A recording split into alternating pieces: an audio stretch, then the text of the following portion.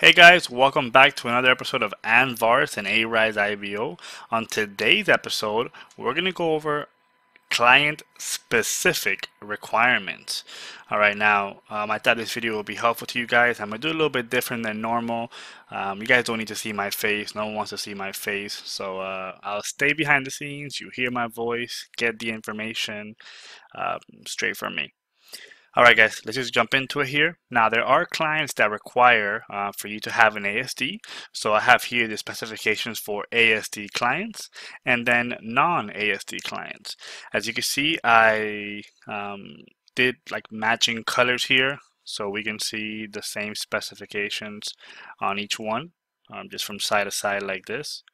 Uh, so now you guys can stop breaking your head over whether your computer is not client um, not meeting client requirements.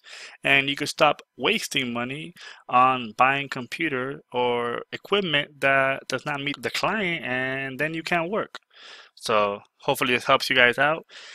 Let's take a look at it. Let's start with ASD clients. So if you are working an ASD client and you can see that in the uh, client PDF information once you click that blue eye uh, above the select button in your Rise portal, it will tell you in there. So if you are going into a client that has an ASD, then you need a CPU speed of 2.5 gigahertz or better. They even give you an example here. Intel Core 2 Duo E6700 or newer. Um, now, if so for hard drive, hard drive 20 gigs or more available space, 64 gigs or more of total space. Uh, for RAM, that's 2 gigs of RAM or better. Operating system, Windows 7, Windows 8, 8.1, or 10. And then a standard connection of speed, minimum 3.0 Mbps download and a minimum 1.0 Mbps upload. And a standard 17-inch monitor. If you are going into a client that is non-ASD, which means you don't need an ASD to work that client, then these are the requirements. CPU speed of 1 GHz dual core processor or better which is not very much at all.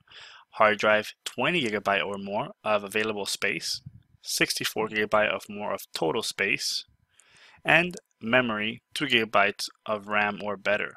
Operating system Windows 7, Windows 8, 8.1, or Windows 10. And again, the standard connections and speed, minimum 3.0 Mbps download, minimum 1.0 Mbps upload. Again, a monitor of 17 inches or bigger. Hopefully this helped you guys out, um, you know, knowing what actual uh, client specifications you will need when selecting a client. Always make sure whether it's an ASD client or not, so that you can make sure you have the correct uh, computer specs and requirements for that job. Um, if you have any questions, guys, leave it in the comments below. Like I always say, we're everywhere on social, so follow us on Facebook, Twitter, Instagram, or even on Snapchat. Um, like, subscribe. I'll catch you guys in the next episode.